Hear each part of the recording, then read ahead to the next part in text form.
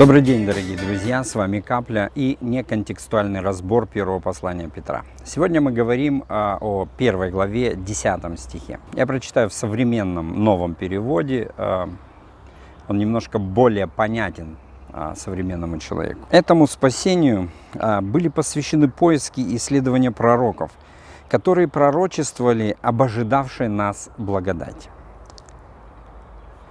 Две вещи которые, на мой взгляд, очень важны в любом э, пророческом служении.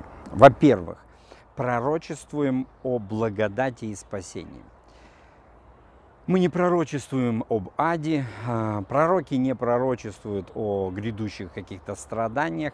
Они могут об этом говорить и должны говорить, но основное направление, основная канва, основная, не знаю, колея, что ли, любого, абсолютно любого библейского пророчества, это как избежать ада, то есть получить спасение, и о той благодати, которая дана каждому спасенному для того, чтобы совершить необходимый путь.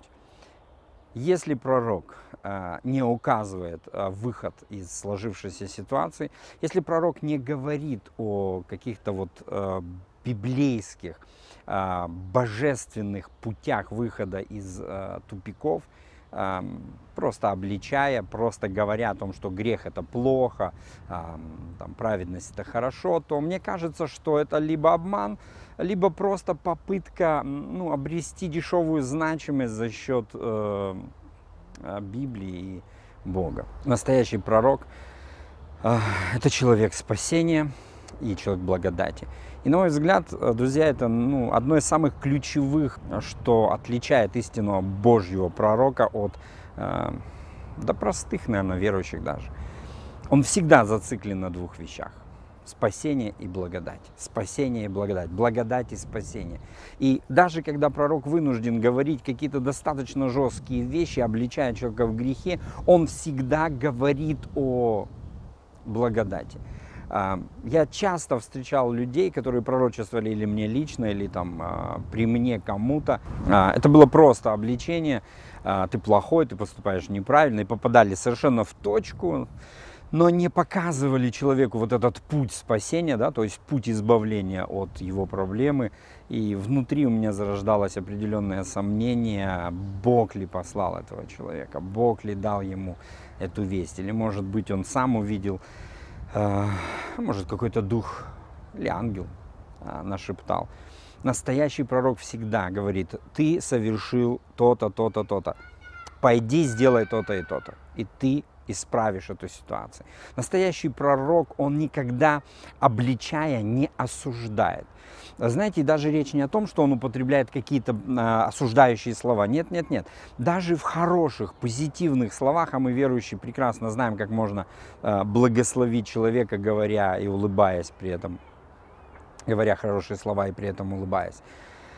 Речь идет вот об этом духе, да, является ли пророк человеком благодати, является ли человек, который говорит слова Божьи, человеком, который априори видит в тебе э, жертву греха, э, а не зло воплоти.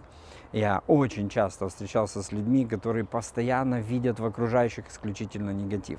О, этот блудник, о, этот такой. Он не говорит, что это человек согрешивший, нуждающийся в помощи, нуждающийся в какой-то э, поддержке других людей. Он говорит, нет, это блудник. И знаете, в этом вот, вот звучит вот конченый.